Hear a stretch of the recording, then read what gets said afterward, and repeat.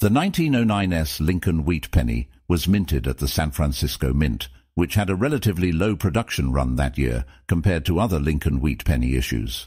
Only 309,000 pieces were struck, making it one of the scarcest and most desirable Lincoln Wheat Pennies from the early 20th century. This low mintage is due to the fact that the San Francisco Mint was producing fewer coins overall in 1909 compared to the Philadelphia Mint, which was the primary coining facility at the time. The 1909S Lincoln Wheat Penny is highly sought after by coin collectors and investors due to its scarcity and historical significance. In 2012, a 1909S Lincoln Wheat Penny, graded as Mint State 67 Red MS 67 Red by the Professional Coin Grading Service, was sold at auction for $414,000. This set a new record for the highest price paid for a 1909S Lincoln Wheat Penny at the time. Just a few years later, in 2019, another 1909S Lincoln Wheat Penny in MS67 red condition was sold at auction for an even higher price of $504,000.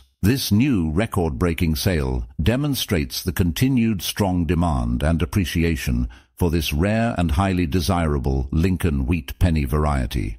The exceptionally high prices achieved for these 1909S Lincoln wheat pennies in top-tier condition reflect the coin's scarcity, historical significance, and the intense competition among serious numismatic collectors and investors to acquire such rare and well-preserved examples. Shop them deals, folks. Go and check out them products. Links down in the description, folks, and support the channel. Check out my new clothing line called Ultra Gear.